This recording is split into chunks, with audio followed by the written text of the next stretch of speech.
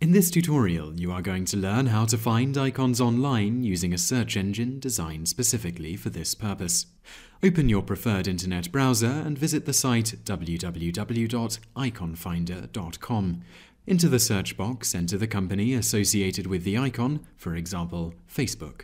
Click Search and a new page will load with some results. You can scroll through this page to find an icon that you like, or you can narrow your search criteria down a bit. Here we are going to use the slider at the top to increase the size of the icon we are looking for to a minimum of 24 pixels. This will help you find an icon more appropriate to your needs.